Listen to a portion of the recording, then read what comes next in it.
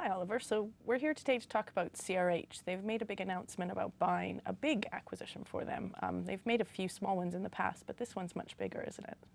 It is, yes. CRH is a serial acquirer of assets. It's a, a building materials company and it often makes small bolt-on acquisitions. Its average deal size is in the kind of high teens, low 20s of millions of euros.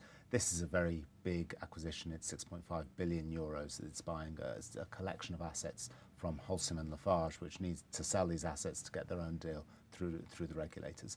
So it's a, a big package of assets. That said, it's not radically different from what CRH has bought in the past. It's a, a collection of cement and concrete and aggregates um, assets that will fit into CRH's existing operations.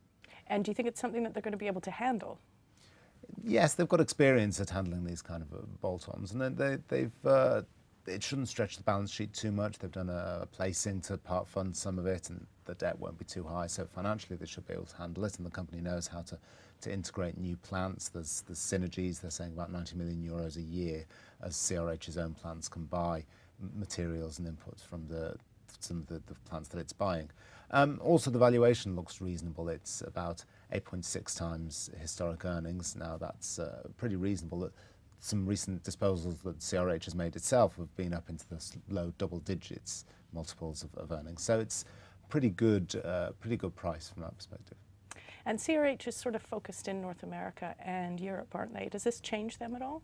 Well, it changes the mix, and this is where you might have questions about the rationale of this acquisition. At the moment, CRH's earnings come about, just over half of them are from the US, and about 30 odd percent from Western Europe. This deal changes that mix because it's buying a lot more Western Europe than it's buying in the US, although it is buying in both. After this, the US will be about 38%, and the European, uh, Western Europe will be, I think, kind of mid 30s. So it changes the mix, and you, have got to ask if that's a sensible thing to do, given that the American economy is recovering and the Western European economy is not doing well at all. Now, that said, a lot of these new assets are in the UK, which is doing slightly better than continental Europe, but still, I'm not sure it changes the mix in a very favourable way. Okay, that's interesting times. Thanks very much.